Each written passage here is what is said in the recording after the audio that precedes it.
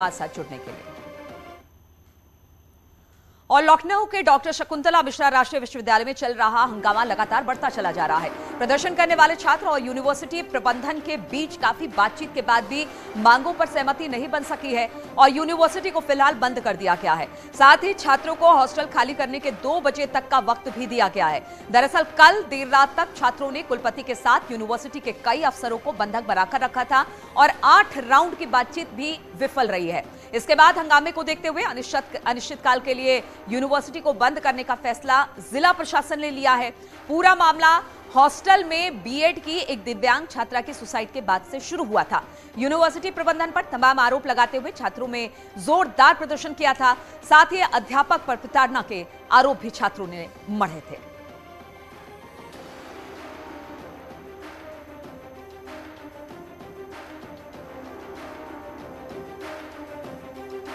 तो छात्रा की सुसाइड के बाद यूनिवर्सिटी में बवाल मचा हुआ है और लगातार बातचीत हुई है यूनिवर्सिटी प्रशासन के बीच, छात्रों के बीच, लेकिन किसी तरह की कोई सहमति नहीं बन पाई। है बताया जा रहा है कि छात्रावास को बंद कर दिया जाएगा, प्रशासन की तरफ़ से ऑर्डर है। शबाब हमारे साथ जुड़ गए हैं। शबाब, क्या जानकारी इससे लेकर?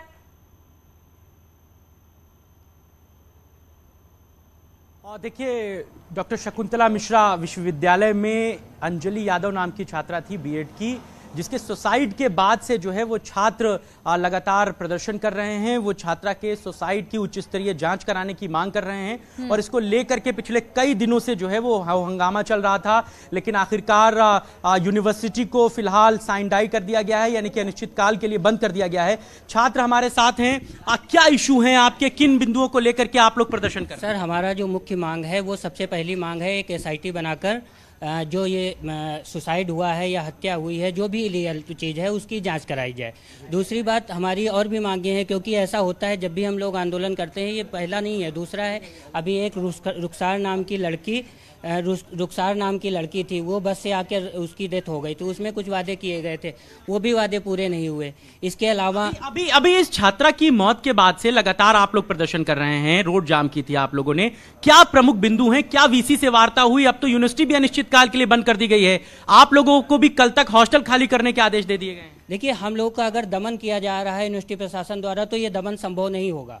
क्योंकि हम लोग भी अगर किसी चीज़ की एक वो है जितना दबाव दिया जाएगा उसकी प्रतिक्रिया भी डबल ही होगी। सहमति किस पर नहीं बन पा रही है? क्या जि, जिस जाँच कमेटी की बात कर रहे हैं क्या उस पर सहमति नहीं बन पा रही है? क्या यूनिवर्सिटी और छात्रों के बीच में? हम लोग लगातार प्रदर्शन कर रहे हैं ताकि इसमें कोई प्रशासन द्वारा कोई कार्रवाई नहीं की जा रही है। तो ये एक तरह से छात्रों के प्रति भेदभाव का भेदभाव किया जा रहा है सर।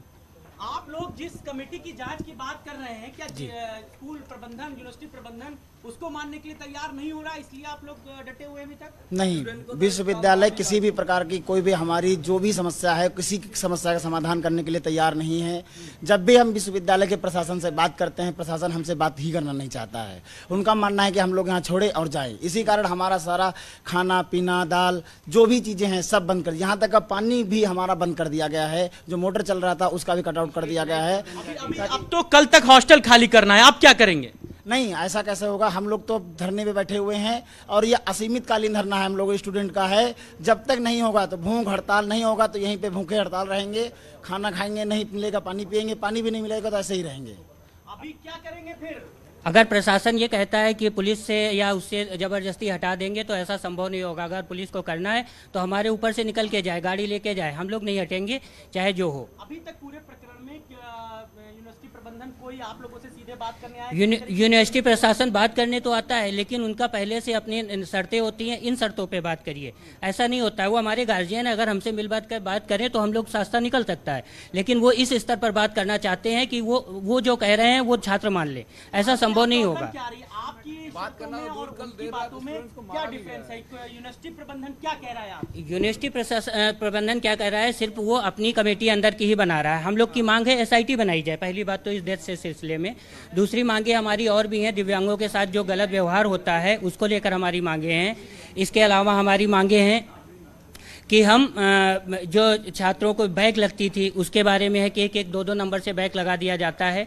इसके अलावा हमारा शबाब सेशन कल अब हॉस्टल भी बंद कर दिया जाएगा उनको बाहर निकाल दिया जाएगा। अगर ज़ोर ज़बरदस्ती इनके साथ की जाती है तो फिर क्या करेंगे? महीने में कोर्स खत्म कर दिया जाता है।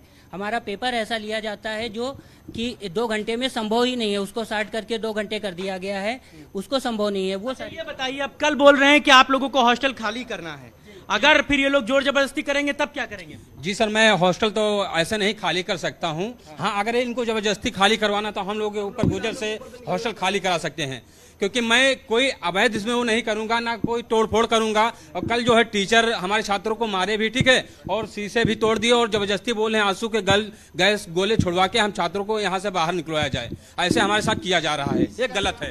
देखिए सीधे तौर पर इस बात को समझिए कि एक छात्रा की मौत होती है उसके बाद इन छात्रों का ये कहना है कि पूरे प्रकरण की एसआईटी से जाँच कराई जानी चाहिए शबाब यूनिवर्सिटी विश्वविद्यालय प्रशासन की तरफ़ से कोई अपनी बात रखेगा ये क्योंकि डेडलॉक लगातार बना हुआ है। आठ बार मीटिंग हुई छात्रों और यूनिवर्सिटी प्रशासन की तरफ़ से। लेकिन कोई फैसला निकलकर सामने आया। छात्रों की बात तो हमने सुन ली। यूनिवर्सिटी क्या कह रहा है? प्रशासन क्या कह रहा है? यूनिवर्सिटी प्रशासन, इस पूरे मामले को लेकर।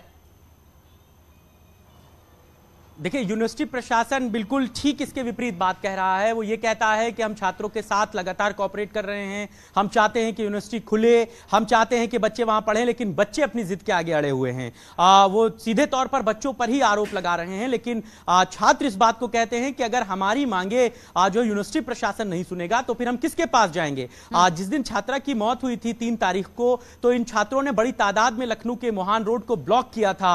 आ, इनकी बात को आ, सुनने के लिए इन्होंने कहा कि सीधे मंत्री को आना चाहिए। ये अपनी बात पर अड़े रहे। लगातार इनकी कोशिश यही थी कि सीधे तौर पर जो इनकी मांगों के मुख्य बिंदु हैं उन पर जो है आ, वो यूनिवर्सिटी प्रशासन काम करे बात करे लेकिन यूनिवर्सिटी प्रशासन अपने बिंदुओं पर बात कर रहा है। अगर यूनिवर्सिटी प्रशासन नहीं अपनी सुन रहा है और कह रहा है कि देखिए अगर आप हमारी बात मानते हैं तो जितनी जल्दी होगा हम यूनिवर्सिटी भी खोल देंगे और हॉस्टल भी हम जो कल वो बंद कर रहे हैं उसे भी वो खुला रखेंगे। लेकिन अब छात्र क्या कह रहे हैं? अगर यहाँ से अगर उनकी सुनवाई नहीं होती है तो फिर आगे भी जाएँगे क्या वो?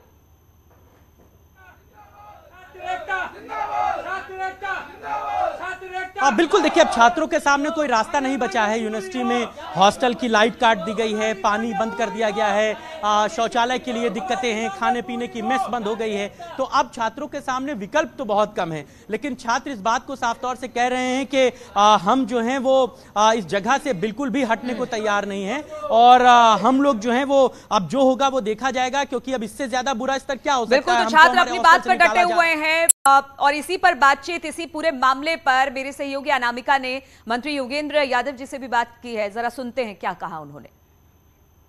विश्वविद्यालय को अनिश्चितकाल के लिए बंद कर दिया गया है। देर रात वहाँ पे बवाल हुआ। स्टूडेंट्स ने वीसी समेत तमाम लोगों को बंधक बना लिया। हमारे साथ बात करने के लिए मौजूद है सरकारी मंत्री योगेंद्र उपाध्याय जी। सर, पूरा मामला आपके संज्ञान में होगा। किस तरीके से इस पूरे घटनाक्रम को लेकर आप लोग आगे बढ़ रहे हैं? क्योंकि स्टूडेंट्स ने ऐलान कर दिया गया है वहाँ पे बवाल को देखते हुए कि यूनिवर्सिटी बंद रहेगी कुछ समय के लिए। देखिए, विश्वविद्यालय बंद करना किसी बात का निराकरण नहीं हो सकता। किसी समस्या का समाधान नहीं हो सकता। सब टेबल पे बात करनी चाहिए। मैं छात्र शक्ति से भी अनुरोध करूँगा। और वहाँ के प्रशासन से भी कि मिल बैठ के बात करें टेबल पर हर समस्या का हल निकलता है। लेकिन बवाल सर बढ़ क्यों गया इतना ज़्यादा? आपने आपने ये संज्ञान लिया इसका। थोड़ी लापरवाही हुई है वहाँ के प्रशासन की। तो ये योगेंद्र उपाध्याय है जो कि बता रहे हैं कि प्रशासन से लापरवाही हुई और इसी वजह से स्टूडेंट्स का बवाल इतना ज़्यादा बढ़ गया कि फ़िलहाल यूनिवर्सिटी को निश्चित काल के लिए बंद कर दिया गया है। लेकिन मंत्री जी की ओर से ये कहना है कि टेबल पर बैठ कर बातचीत होगी तो समस्या को सुलझाया जा सकेगा। News eighteen Lucknow.